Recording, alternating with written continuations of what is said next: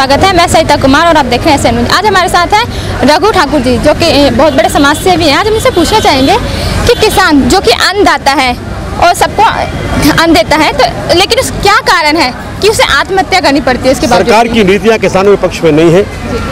एक तो किसान जो फ़सल पैदा करता है उसको दाम उसका नहीं मिलता है। वो लुट जाता है। किसान का बाज़ार पर अधिकार नहीं है और दो फ़सलों के बीच में जो उतार चढ़ाव है बहुत ज़्यादा है। जब किसान की फ़सल आती है तो वो दाम गिर जाते हैं, जब जाती है दाम बढ़ जाते हैं। किसान को लागत मूल्य भी नहीं मिल पाता है। किसान कर्जदार बन जाता है। इसलिए सरकारों से हम लोग कह रहे हैं, नंबर एक, कि सारा कर्जा किसान का माफ़ कर दो। नंबर दो, ये सिद्धांत बनाओ कि चाहे खेती हो, चाहे कारखाने का सामान हो, लागत के डेढ़ गुणे से ज़्यादा में नहीं बिकना चाहिए। आज दिक्कत है कि किसान की फ़सल सस्ती बिक जाती है, लागत से कम में बिकती है, और कारखाने का सामान लागत से सौ गुना बिक जाता है।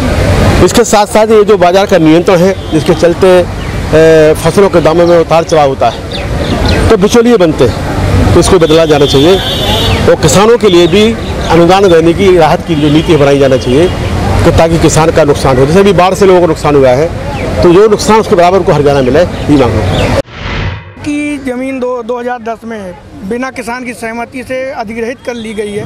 न किसानों ने सहमति दी ना तो मुआवजा लिया लेकिन उनकी ज़मीन बलपूर्वक छीन करके और एक प्राइवेट कंपनी को दे दी गई है।